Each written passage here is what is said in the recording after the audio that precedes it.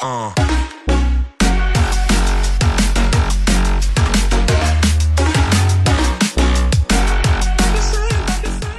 Ley 1397.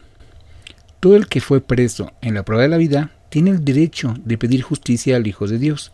Los presos del mundo acusarán a sus opresores, demandarán justicia de fuego contra extraños jueces y extrañas leyes salidas de un extraño y desconocido sistema de vida no escrito en el reino de los cielos.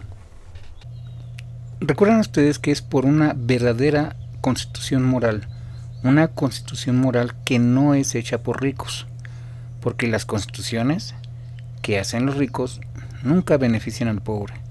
Estas leyes que presentamos fueron hechas por un pobre, por un obrerito, Luis Antonio Soto Romero.